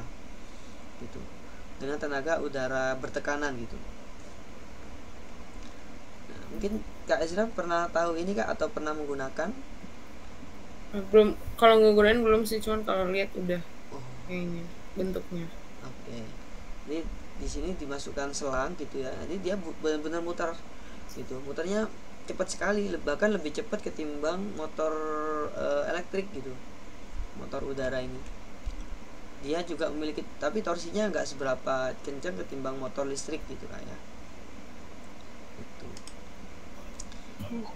nah pemanfaatannya di mana? E, yang pertama di peralatan industri kemudian alat pengangkat dan penggerak lalu peralatan perbaikan lalu mesin pengemas lalu sistem pneumatik di pabrik kemudian yang keenam peralatan konstruksi yang ketujuh alat penggiling lalu penggerak alat berat lalu perangkat penambangan dan yang terakhir peralatan laboratorium. Nah yang ketiga ini adalah aktuator yang menggunakan tenaga hidrolik atau cairan gitu ya. Cairan biasanya itu cairan digunakan adalah oli oli khusus untuk hidrolik gitu. Ya, sama dia prinsipnya seperti silinder e, pneumatik dia maju dan mundur saja. Tetapi dia bedanya dia lebih pelan tetapi dia memiliki torsi atau daya dorong yang jauh lebih kuat ketimbang daya dorong e, dari silinder pneumatik Nah, biasanya dia digunakan di mana? Dia digunakan di uh, ekskavator, nah, atau bulldozer, lalu peralatan pertambangan, lalu sistem pengangkat, kemudian peralatan otomatisasi industri, kemudian mesin press itu ya, mesin dorong itu yang uh, ngepres besi-besi itu dia menggunakan hidrolik biasanya. Lalu pabrik perakitan, lalu kendali kapal, kemudian rem hidrolik pada kendaraan, kemudian jadi kayak motor kita atau mobil kita itu menggunakan prinsip hidrolik biasanya kak.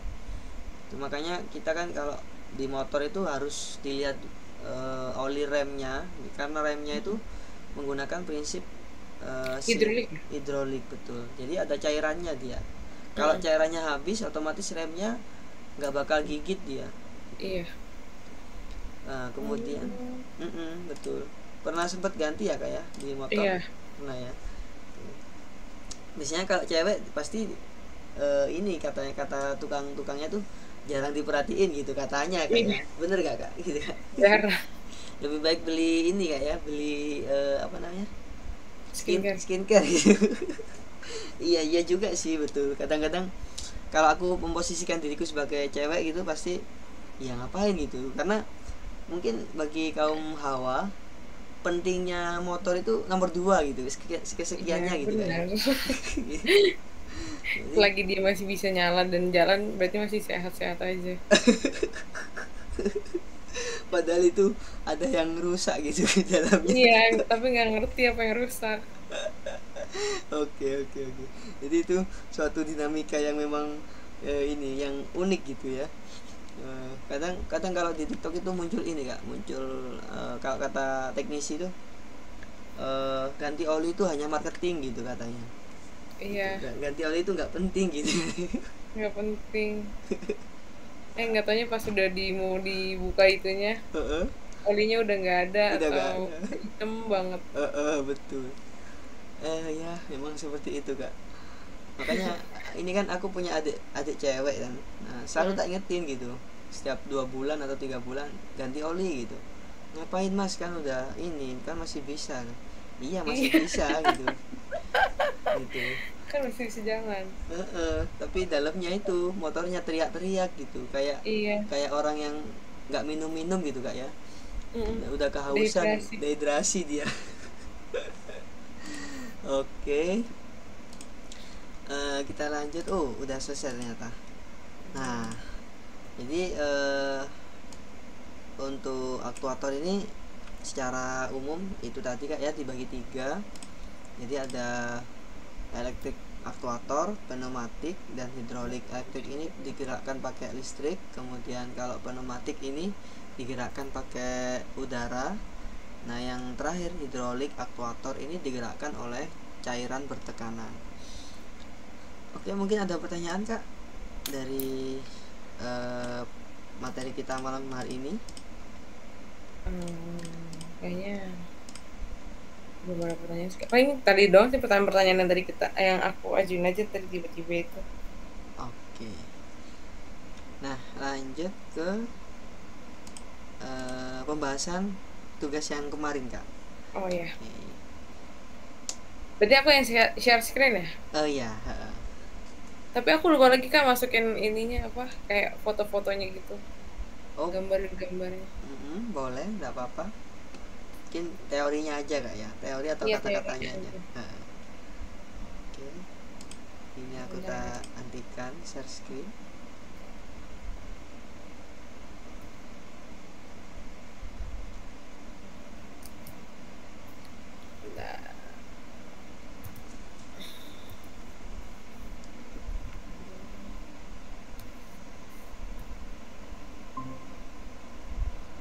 Dekatan belum ya kak?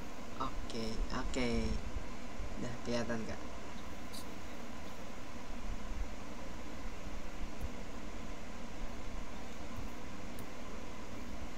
Sini. Oke. Okay. Jadi mm-hmm. kan satu-satu doang kan ya kak? Mm-hmm. Mm-hmm. Ya, satu-satu aja. Satu aja kan. Nah, dari kan ada tiga tuh ada sensor kelembaban tekanan sama gas.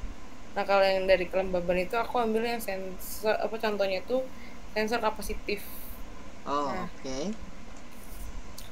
nah terus si sensor kapasitif uh, kapasitif itu adalah uh, perangkat yang digunakan untuk mengukur kadar air atau hmm. kelembaban pada suatu material atau lingkungan. Uh, sensor ini biasanya bekerja berdasarkan perubahan kapasitansi yang terjadi ketika kelembaban itu berubah Hmm. Nah, uh, terus kapasitansinya meningkat saat kelembaban meningkat karena air memiliki konstanta di elektrik yang lebih tinggi dibandingkan dengan udara. Hmm. Terus uh, biasanya sensor ini itu diaplikasikan untuk memantau kondisi tanah, hmm. kelembaban udara dan pengendalian iklim di industri atau di uh, rumah kaca. Hmm. Nah, terus yang ke slide selanjutnya itu uh, cara kerja sensor kapasitif kalau uh, itu ada um, ada lima. Yang pertama itu konstruksi sensor uh, atau uh, konstruksi sensor itu sensor kelembaban kapasitif yang terdiri dari dua plat konduktor yang dipisahkan oleh bahan elek oleh bahan dielektrik dan udara atau material yang diukur kelembabannya berfungsi sebagai ele dielektrik ini terus yang yang kedua itu prinsip kapasitansi. Kapasitansi adalah kemampuan suatu sistem untuk menye untuk menyimpan muatan listrik. Ketika kelembabannya meningkat, lebih banyak molekul air yang masuk ke dalam bahan dielektrik. Hmm. Karena air memiliki konsentrasi dielektrik yang lebih tinggi daripada udara, kapasitansi meningkat seiring meningkatnya kelembaban. Aku bisa boleh sambil tanya nggak sih kak? Boleh, boleh kak. Itu berarti kalau misalkan kayak gitu tuh, um, misalkan kan kayak dia kan ketika kelembaban meningkat lebih banyak molekul air yang masuk ke dalam mm-hmm. bahan dielektrik berarti uh, itu yang ngerubah si suhunya naik turun naik turun gitu ya berarti uh, ya oh, betul mm-hmm. oh, ya. betul. Mm-hmm. betul. oke okay. terus yang cara kerja yang ketiga itu pengukuran kapasitansi jadi di mana perangkat elektronik dalam sensor akan mendeteksi perubahan kapasitansi ini. Semakin tinggi kelembaban, maka semakin besar perubahan kapasitansi yang terjadi.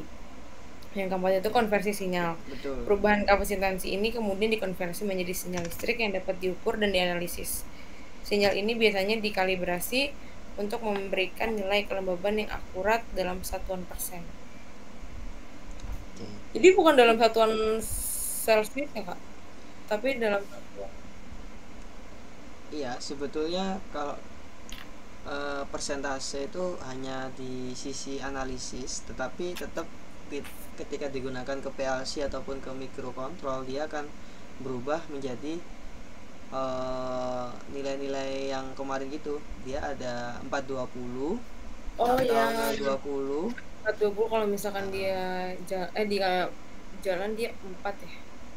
Iya. Eh, kalau misalkan dia low itu dia 4 kalau high dia dia 20 20 jadi apa pun sensornya kalau dia udah masuk ke ranah kontrol dia harus berupa arus atau tegangan gitu iya. atau iya. komunikasi komunikasi seperti UART atau RxDX 425 uh, 485 gitu ya atau Bluetooth ataupun Ethernet gitu. Oke oke oke. Terus yang kelima itu ada output data di mana nilai kelembaban yang terukur kemudian ditampilkan atau dikirim ke sistem kontrol tergantung pada aplikasi sensornya. Oke. Nah, terus itu aplikasi sensor kapasitif itu ada beberapa yang aku masukin di sini cuma tiga. Itu ada pengukuran kelembaban tanah, di mana digunakan dalam pertanian untuk memantau kadar air tanah.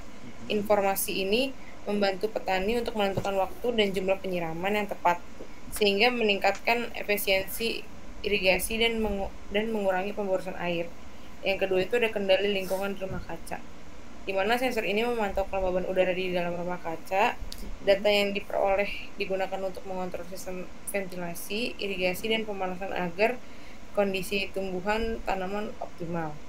Yang ketiga itu ada pengeringan bahan pengeringan bahan di industri, di mana dalam proses pengeringan makanan, kayu, dan bahan lainnya Sensor kelembaban kapasitif ini membantu memastikan bahwa kadar air yang tersisa sesuai dengan standar yang diinginkan sehingga menghindari kerusakan produk. Itu berarti sama juga kayak yang tadi kakak sebutin itu ya kak? Yang apa? Yang pengecatan logam itu ya, yang masuk dalam oven gitu. Mm -hmm. Itu ada sensor kelembabannya juga berarti ya? Betul, betul banget. Oke. Terus yang keempat itu yang aku nggak masukin itu ada pemantauan kelembaban udara di gedung. Itu digunakan dalam sistem HVAC atau heating ventilation and, and air conditioning untuk mengontrol kelembaban dalam bangunan. Ini penting untuk kenyamanan penghuni dan, dan pencegahan jamur atau kerusakan pada struktur bangunan. Ini yang mana kak? Uh... Uh, aku tadi nggak masukin sih uh, si pemantauan udara di gedung itu. Oh. Ini masih di aplikasi sensor. Hmm. Cuman aku masukin cuma tiga. Oke oh, oke. Okay, okay. Sebenarnya ada lima. Yang satu yang satunya lagi itu ada industri elektronik Sensor ini digunakan untuk menjaga kelembaban uh, pada tingkat yang tepat selama penyimpanan atau produksi komponen elektronik. Oh, okay. Terus kita masuk ke sensor tekanan eh, sensor tekanan. Di sensor tekanan itu aku ambil contohnya itu dari strain gauge. Oh, strain gauge. Uh, uh, uh. Si strain gauge ini adalah uh, jenis sensor yang digunakan untuk mengu untuk mengukur regangan mekanis suatu objek. Mm -hmm. Alat ini bekerja berdasarkan prinsip piezoresistitivitas yang berarti resistansi listriknya berubah saat benda tersebut mengalami uh, deformasi. Kak, mohon maaf, uh, eh, PPT-nya belum ini berubah. Eh, belum belum berubah ya, Kak? Uh -uh.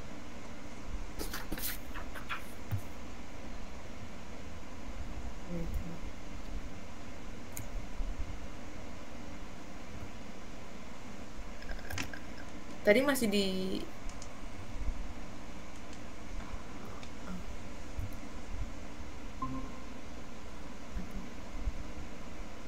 udah kak strain gauge ya oke okay.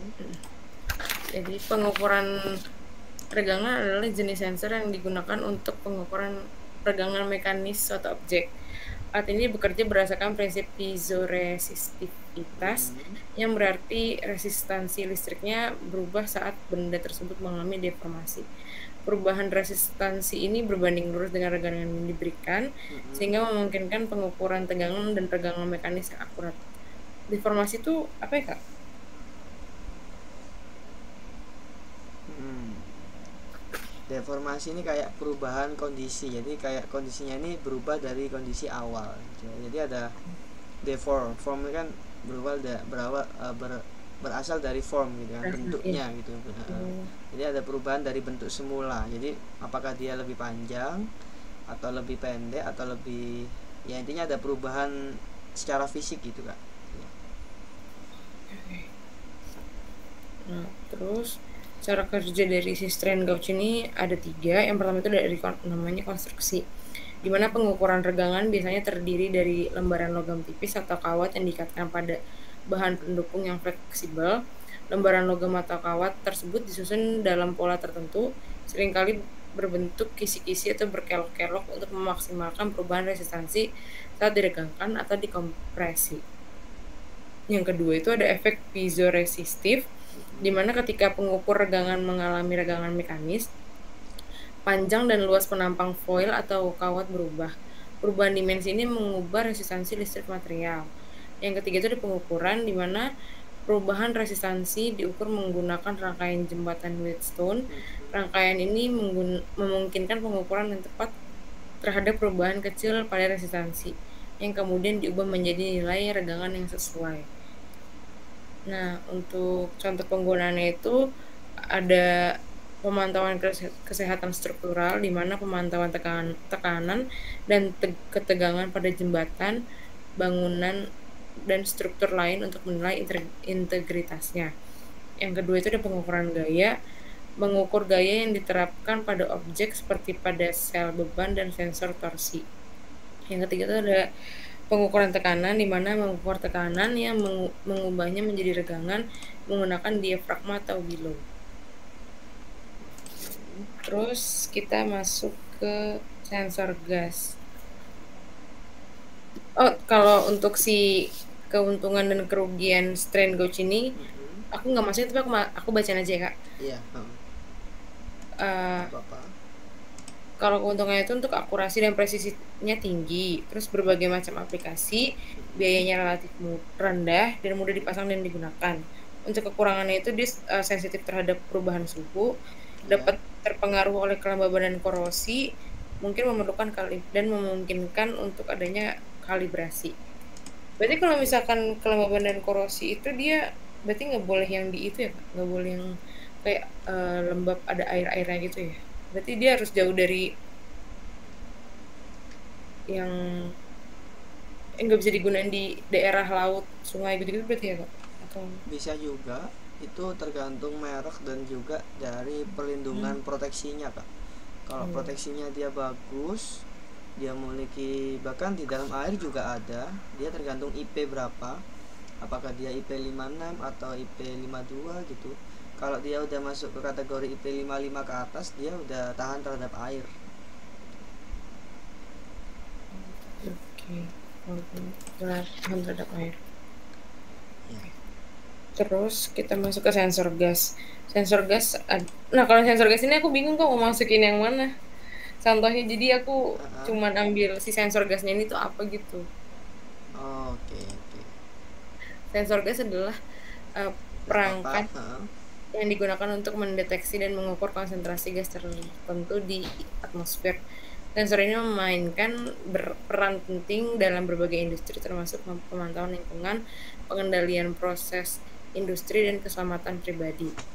Di mana cara kerja sensor gas sendiri itu ada ada empat yaitu ada sensor ada semi semi resistors itu sensor ini mengubah resistansi listriknya saat terkena gas tertentu perubahan resistansi sebanding dengan konsentrasi gas terus eh, yang kedua itu ada sensor gas semikonduktor di mana sensor ini memanfaatkan bahan semikonduktor yang berintegrasi dengan gas menyebabkan perubahan dalam konduktivitas listriknya yang ketiga itu ada sensor elektrokimia Sensor ini melibatkan reaksi kimia antara gas dan elektroda, menghasilkan sinyal listrik yang sebanding dengan konsentrasi gas. Yang keempat itu ada sensor gas inframerah atau atau IR. Sensor ini mendeteksi penyerapan radiasi inframerah oleh gas tertentu yang memungkinkan pengukuran konsentrasi yang tepat. Nah, dari jenis sensor gas tersendiri itu ada ada banyak jenis sensor gas yang tersedia masing-masing memiliki kekuatan dan keterbatasannya tersendiri uh, itu yang yang pertama itu ada sensor semikonduktor oksid oksida logam atau MOS. Sensor ini banyak digunakan karena kesederhanaannya dan biayanya yang rendah. Sensor ini sensitif terhadap berbagai gas termasuk karbon monoksida, hidrogen dan senyawa organik volatil atau VOC. Yang kedua itu sensor elektrokimia uh, di mana dia sensor ini sangat sensitif dan LF dan selektif terhadap gas tertentu seperti oksigen, karbon dioksida dan hidrogen sulfida. Terus sensor gas inframerah atau IR ini sensor ini hmm. ideal untuk mendeteksi gas yang menyerap radiasi inframerah seperti metana, karbon dioksida dan hidrokarbon. Terus yang keempat itu ada detektor fotoin fotoionisasi atau PID. Sensor ini menggunakan sinar ultraviolet untuk meng ionisasi gas yang memungkinkan pendeteksian berbagai senyawa organik yang mudah menguap. Yang terakhir ada detektor ionisasi nyala atau FEI, FEID. Sensor ini sangat sensitif terhadap hidrokarbon dan gas umum dan umumnya menggunakan digunakan dalam kromatografi gas. Terus selanjutnya itu ada aplikasi sensor gas. Di mana itu uh, di apa sensor gas digunakan dalam berbagai aplikasi termasuk pemantauan lingkungan, dia mengukur kualitas udara, mendeteksi kebocoran gas dan memantau emisi gas rumah kaca. Yang kedua itu ada kontrol proses industri di mana memantau konsentrasi gas dalam proses industri untuk memastikan keselamatan dan efisiensinya. Yang ketiga itu keselamatan pribadi, yaitu mendeteksi gas beracun di lingkungan dalam ruangan dan memperingatkan pengguna tentang potensi bahaya. Yang keempat itu ada perawatan kesehatan, memantau gas pernapasan dan mendeteksi kondisi medis. Yang kelima itu ada industri otomotif, mendeteksi kebocoran pada sistem otomotif dan memantau emisi gas buang. Oke, terima kasih kak. Oke, sekian presentasinya. Okay. Aku mau nanya ini kak, kalau uh, gas flow meter itu termasuk sensor juga atau bukan? Uh, termasuk, itu termasuk sensor juga. Jadi dia mengukur bagaimana aliran dari sebuah gas. Jadi alirannya itu diukur gitu. Ada juga yang water, water flow meter juga sama. Dia mengukur uh, aliran dari air di dalam sebuah pipa. Biasanya itu digunakan pada eh, industri-industri minuman atau pada industri air yang sudah modern. Kalau di Indonesia kayaknya belum sih. Kalau udah di luar negeri itu kayak di Belanda atau di Jerman itu udah pakai sensor. Jadi kayak kayak apa namanya PDAM tuh udah pakai hmm. sistem IoT jadi kayak berapa kubik air yang sudah dialiri ke sebuah rumah itu udah nggak perlu pakai meteran meteran analog yang kayak di rumah-rumah di Indonesia itu hmm. kayak yang pernah kan kak kakak tahu lihat di di meteran rumah kita itu? Iya. Itu kan muter gitu kan kak e, mm. dari PDAM-nya itu. Nah itu nggak perlu seperti itu. Jadi benar-benar itu sudah masuk ke IoT dan sudah sudah terintegrasi ke pusat. gitu dia pakai flow meter. Mm. Oke bagus sekali kak. Uh, presentasinya PPT-nya juga keren. Uh, pemahamannya juga bagus dari kak Ezra. Uh, mungkin nanti uh, bisa juga di apa namanya di upload di uh, sebenarnya nanti ada sedikit saya edit kak untuk linknya link absensi okay. untuk mulai pertemuan hari ini. Nanti akan mm. ada kayak misalkan uh, pengumpulan tugas oke okay, oke. Okay uh, mungkin ada pertanyaan dari Kak Ezra? Uh, mungkin itu sih Kak tadi yang tiba-tiba aku nanya gitu. Oke. Okay. nah ini boleh aku share screen lagi Kak? Oh boleh boleh. Uh, ini mau saya screenshot lagi. Jadi nanti akan tak buat kayak dokumentasi gitu loh kak. Uh, oke. okay. tapi yang berbeda uh, dari segi apa namanya dari segi screenshotnya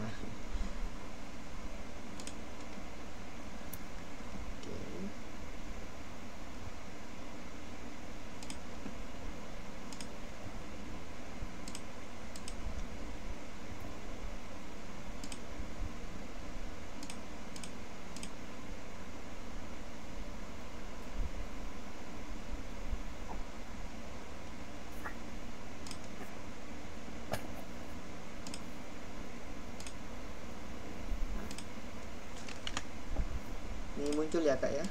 Iya muncul kak. Nah uh, sebentar saya screenshot dulu.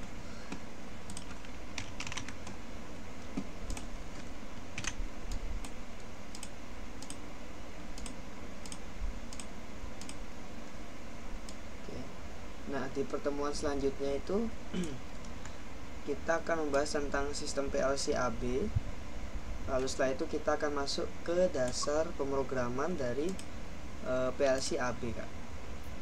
Ini masih itu ya kak? Masih PPT yang tadi ya? Uh, untuk screenshotnya. Untuk yang enggak untuk yang screen yang kakak sekarang share screen itu PPT atau bukan? Iya PPT betul. Okay. Okay. Untuk yang pertemuan berikutnya gimana kak tadi? Untuk pertemuan berikutnya ini kita akan uh, masuk ke sistem PLC AB mm.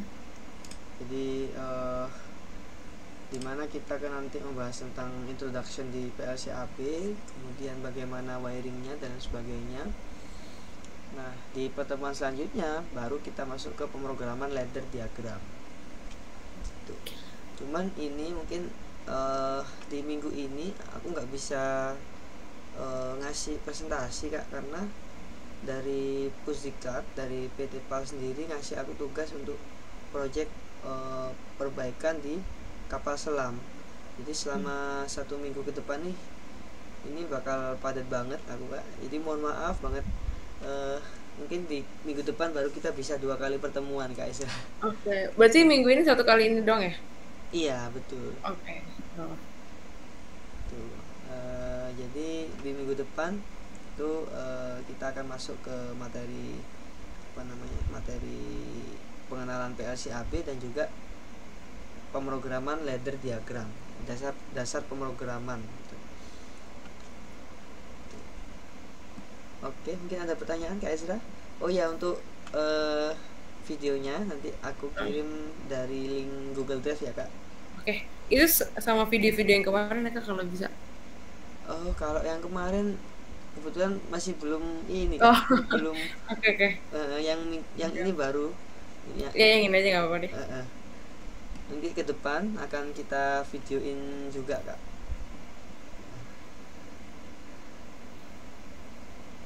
Oke ada pertanyaan kak Azra mungkin halo halo kak Azra